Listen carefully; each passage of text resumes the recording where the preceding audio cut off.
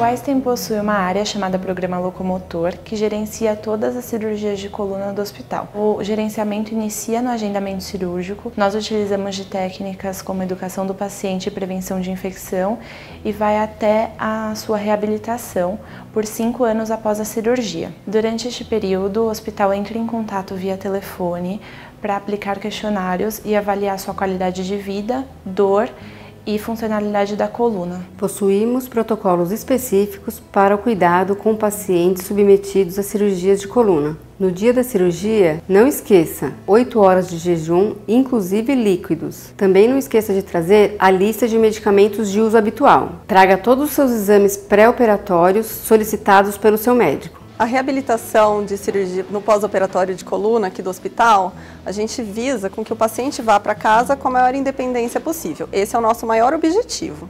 Então, para isso, logo no primeiro pós-operatório, a gente já entra no quarto para ensinar o paciente como que ele deve se virar na cama, como que ele faz suas atividades funcionais, de sentar, levantar, trocar postura, passar de deitado para sentado, na tentativa de proteger a coluna. E a gente também já inicia com movimentos isométricos dos membros inferiores para tentar preservar a força das pernas e já dar o máximo de independência que a gente consegue. O nosso objetivo com a físio aqui logo de início é que o paciente vá para casa com maior independência possível.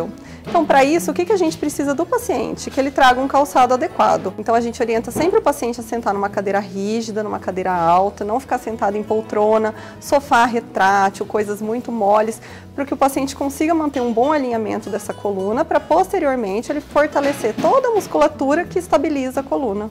O objetivo do Einstein também é proporcionar uma alta segura para o paciente e uma independência em casa.